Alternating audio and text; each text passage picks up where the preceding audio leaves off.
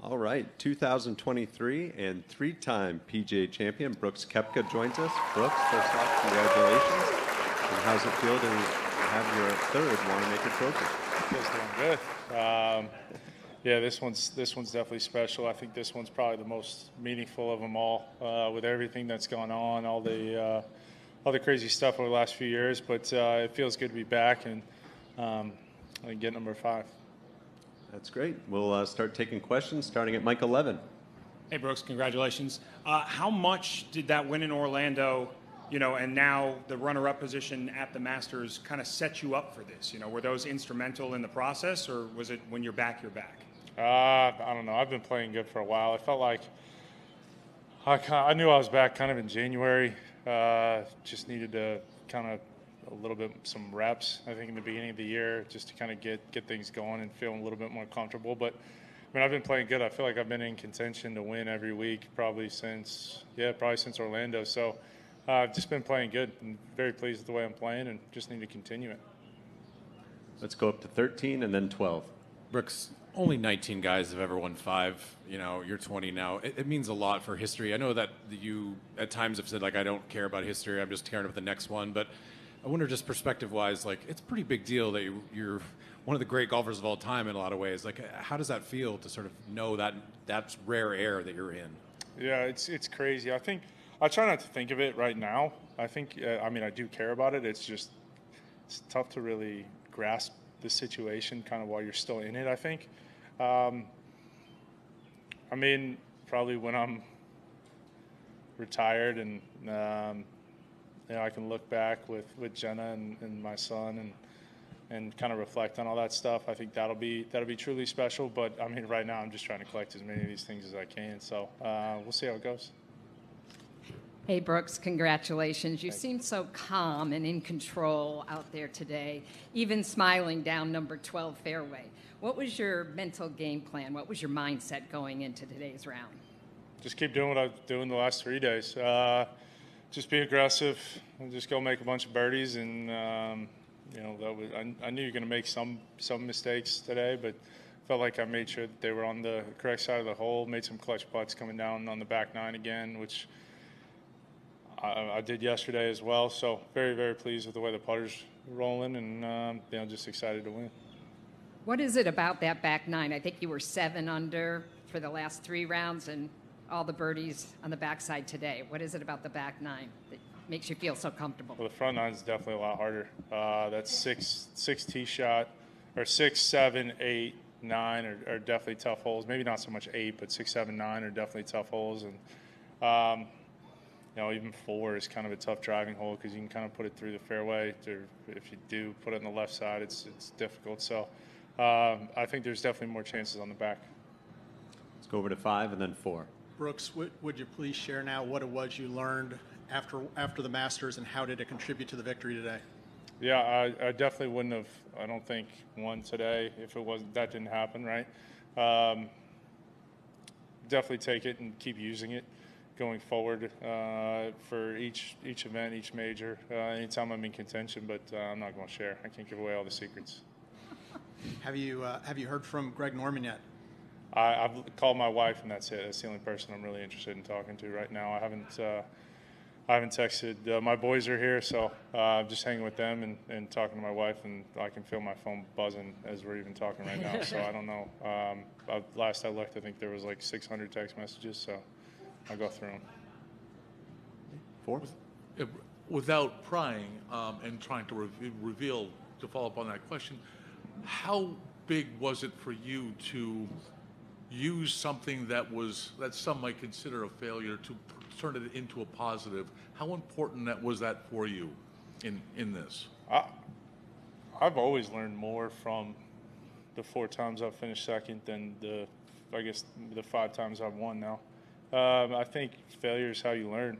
Uh, you get better from it. You realize what mistakes you've made each time. I've I've kind of made an adjustment. Um, it's more mentality than it is anything. There's not really a golf swing or anything like that. It's just you know you, are gonna play how you play, but mentally you can kind of figure things out. And right, I'm always trying to get better, so just trying to find that different, that little edge, um, just to poke and pry inside my head. And really, really, I think the big key is just being open and honest with yourself. and if you can do that, then you'll uh, you'll be miles ahead of everybody else. And just Bryson was talking about how this not not, not validates the LIV tour, but is was an important moment for for your tour. Can you appreciate that um, with your victory here? Yeah, I mean, I definitely think it helps LIV, but I mean, I'm more interested in my own self right now. To be honest with you, I think, um, yeah, it's it's a it's a huge thing for LIV, but at the same time, I'm I'm out here competing as an individual at the PGA Championship, so uh, I'm just happy to take the take this home for the third time. We'll go 11, followed by 7 and 2. That was actually pretty much my question. The, uh, you know, obviously the first ever and will always be the first ever representative from the LIV Tour to win a major. Is there, is there any pride with that? Whether I know obviously you're playing individually, but is there any pride as a representative of the organization? Yeah, I think so. Uh, look at it as I think I was the first guy to win two two LIV events. So um, you know, win to win a major is is always a big deal, no matter where you're playing. And I think that's uh, all it does is I just think I guess validates it for myself. Uh, I guess maybe if anybody doubted it from Augusta or whatever, any doubts anybody on TV might have or whatever, that uh, that I'm here, I'm back, I'm here. Thank you. Brooks, thanks for making the time, man. Uh, I guess Blake is officially in the running as a baby name now. Is that official? Yeah, I got to call PMT guys. Uh, I'll call Big Cat and PFT whenever I get a chance. Uh, probably going on the way to the plane or something like that. I'll give them a shout, and uh, yeah, it'll be a little bit later though. Brooks, I'm just wondering what it, what your celebration plans might look like tonight. Uh, probably pretty chill tonight. Just going to get home, go see, uh, get back home, chill. But I would say tomorrow with the Panthers game, it'd probably be a large, large tailgate, large, long afternoon. And then um, Claude Harmon was kind of talking about earlier this week that during that final round of the Masters, you might have been letting a couple shots affect you a little bit too much, more than they normally would. Is that kind of what was going on in your head? No, no, it wasn't what was going on. It was uh, it was something completely different. It was something I took to the first tee. But um, I think, look, I learned from it. I'm, I'm very pleased with what I took from it, and I'm, I'm pleased with the honesty I was I was able to you know dive in into. Uh, uh, my best friend, actually, my brother's caddy, my best friend. Um, I think we stayed up probably most of the night just uh, chatting about it, and he kind of ripped into me pretty good about it. So made sure, and uh, he was texting me all last night about it, and um, making sure that uh, I wouldn't fall in the same trap. Up to 13, then 10. Brooks, 16 was obviously a pretty pivotal moment in today's round. What was your perspective on what Viktor was going through? And then you hit your shot maybe 10 seconds after he finally hit his. I was kind of wondering what was going through your mind in that moment. Uh, I, I couldn't see, but I mean, I had a good idea what was going on. Uh, it looked like it probably buried under the lip, uh, which is kind of unfortunate. But uh, yeah, they were they took a couple minutes just to figure out the drop and just kind of figure out what was going on. But uh, I don't know, I'm a pretty fast player, so I was. I mean, we I had probably what probably took three minutes in total just to kind of from the moment he uh, I guess was preparing for the original shot in the bunker and then the drop and situation. So we already knew the yardage, we knew everything going into it, and the wind kind of pretty much stayed the same. So it was, uh, we talked about it for a good minute. When you hit that really close, did you did you feel like okay, like I've done like in this hole in this moment, I've I've made a huge you know momentum swing or something? Yeah, I thought so for sure. I thought honestly it was a tougher putt. It was so downhill and it was kind of burnt out. So if it, I even told Rick before I hit it, I was just going to die it and pick the high line. And I mean, if it didn't hit the hole, it was definitely going three, four feet by. But uh, yeah, I'm just happy that one went in. I think it was a big momentum boost. Give me a little ease going in 17, 18. 10. I don't know how much you're able to follow what was going on with Michael Block today, the hole in one this whole weekend. Just to kind of share this weekend with him, have him alongside the trophy ceremony. Just your thoughts on that. Yeah, it's been it's been super cool. He's a great dude. He's been fun. I haven't I didn't really get to hang out with him until uh, after the round and just kind of chat with him. But yeah, I was walking up. Uh, it was part, part five, 13. I was walking up 13, and we heard the roar, and I wasn't. It sounded like a hole in one roar. Um, we weren't sure. Maybe someone hold out in 14. You, know, it's kind of coming from the same area. And I asked one of the camera guys, and they told me that it was Mike. So I thought that was pretty special. Me and Rick were laughing about it, and uh, yeah, drinks are on him. So run the tab up. and then you obviously start the major season second and first. Just how do you try and carry this momentum into what could be a pretty historic year, perhaps? Just keep doing what I'm doing. It's working so far. Um, back to having a chance pretty much every time I tee it up. So I'm very pleased with the way I'm playing. I like the way um, I've worked with everybody. It's it's been um, it's been a lot of fun. Juan? So Brooks, I, I wonder if moments like this are a good time to reflect on, on the injuries, all those years going in Asia and Europe, and like how tough the journey is. No? Yeah, I mean, I don't. It's tough to kind of reflect in the moment. I think probably the best reflection comes like a day or you know a couple days later. Well, definitely not tomorrow. I won't be sober. So, um, yeah, I'd say I'd probably give it a week on this one. This one would probably taste a little better. Um, but I'm I'm excited and you know it's it's so cool to look back at where I've where I've come traveling. Remember back to the Challenge Tour days, going to Kenya, Kazakhstan, and all those cool places, and getting to see the world. And um, yeah, to, to be out here now and win five major championships is is pretty incredible. All right, we'll do 12, 8, and 14. Brooks, can you comment a little bit about Ricky Elliott and how he's helped you get back to this place? Yeah, Rick. Uh, it's kind of funny because Rick was Rick. I, I forced him to come out uh, when Dr. ElAttrache was doing surgery. No one wanted to come with me. My brother was playing the Honda Classic, so my parents were staying there. Uh, Jenna had just had surgery on her ankle, so she couldn't fly out there. Um, so I, I made Rick come, and Rick spent probably two two and a half weeks with me out in LA, and uh, yeah, I, I, I feel bad for him that he was uh, he was stuck there with me for a while. I think he was he was tired of me. I was tired of him. But uh, look, he's he's I don't think he gets enough credit for being as good of a caddy as he is. Um, you know, caddying's a lot about reading the people, uh, reading your player, knowing what they're going to do before they even do it, and kind of sense sense the moment of what to say, what not to say. And um, I, I, think, honestly, I've, I thought he's one of the best for a long time, and I, I just don't think he gets enough credit, maybe even from me. Hey Brooks. Um, obviously, we got a, got a peek of you at bottom because of the show, and you know, I, I just kind of wondered, at those times, how much were you doubting, questioning, whatever um, yourself physically versus like yourself, like, can I go do that again? Me, like the player.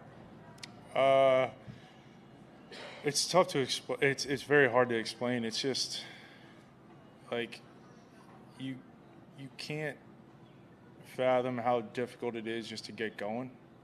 Um, I mean, it was a lot worse than I let on to you guys, to let on to everybody. Um, like I said, I think maybe only five, six people really know the extent of it.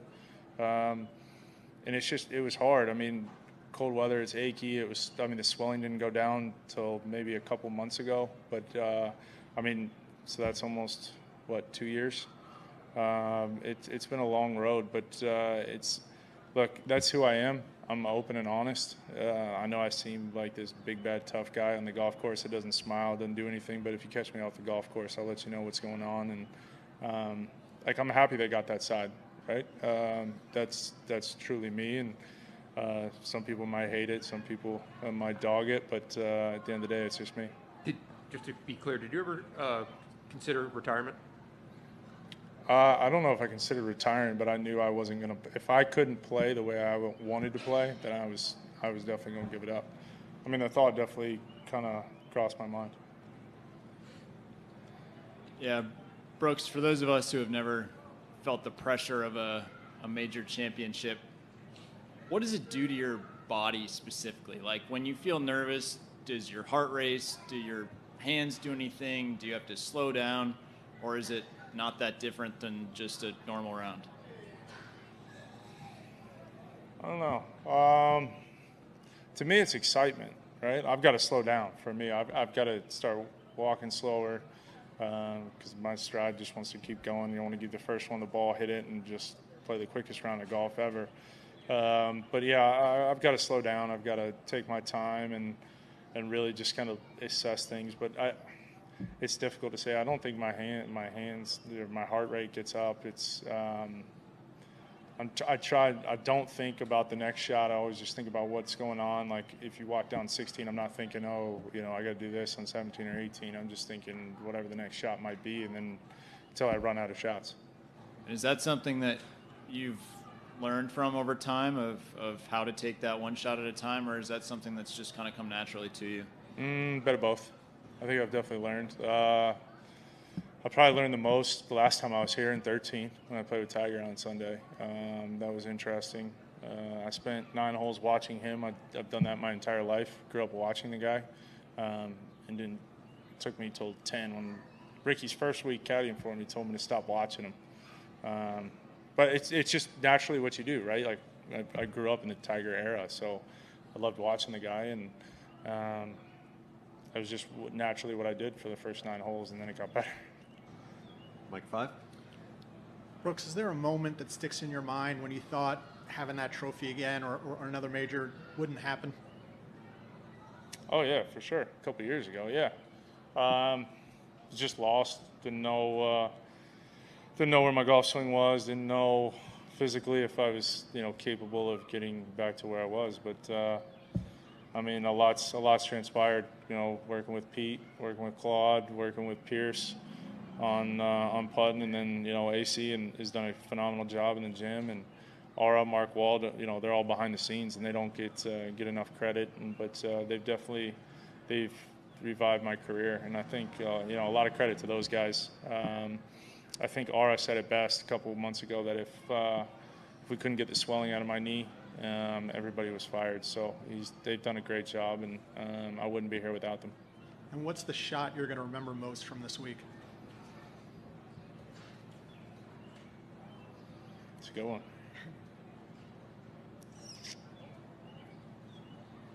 I don't know. I have to get back to you on that one. Right now, it's tough to think. I'm like trying to think. Uh, probably, you know what? Probably that uh, that chip in on for par on 11. I think the first day. Why that one? I mean, I could have made double. So yeah, saved me. Usually, when you make double, you don't win a major championship. Historically, I think. Back here to eight. It, it's kind of impossible not to hear certain things that get yelled in a round. You know, Ricky might throw a fan a little stare down and things like that. And I wonder, does did, does any of that get to you? Do you do you hear any of it? Does it, you know? I hear it all. I just don't care. Uh, I mean, that's that's sports, right? They're gonna. Uh, you got to be mentally tough enough not to. Uh, some, I guess, some lady was chanting some stuff, and another guy was shouting out some stuff. But it's you got to be mentally tough enough not to deal with them. It happens in every sport. I'm pretty sure when Tom Brady was playing, I'm sure when he walked into uh, when he was playing the Jets or the Dolphins, he wasn't exactly cheered upon when he when he ran into the stadium. All right, got time for a couple more. Mike 12. Brooks, you seemed to get a little emotional as you were walking from the 18th green to the scoring tent. Um, was that relief? Was that suddenly realizing what you had accomplished? Just curious. Yeah, I think it was definitely what I accomplished. Um, pardon my language, but it's all the fucking shit I had to go through. Um, no one knows. No one knows. I think uh, it's been all the pain. There was a lot of uh, a lot of times where I just couldn't even bend my knee, and um, yeah, it, it felt good. It felt really good. All right, we'll finish up with 13 and 7. Brooks, uh, what do you think about being a dad soon? It's gonna be wild. Um, yeah, it's it's it's crazy. The, I feel like these last I don't know five six months uh, have flown by, and um, it's our, our lives even started to change already. Um, and I can only imagine when he gets here. It's um, but I, I'm super excited. I've, I've kind of wanted to be a dad for for the last few years, and um, you know these uh, this will be an exciting time for for our life, um, and I can't wait. Uh, I can't wait for it. Brooks, would you want to see uh, the PGA Championship coming back to, to Oak Hill and, and have you playing in it one day? Like I said, I love New York. It's treated me pretty well. So, um, but three of the five have been in uh, in New York, so uh, I'll come back anytime. Cool. Thanks, Brooks. Congrats again. Thank you. Thanks, man. Thanks, Brooks.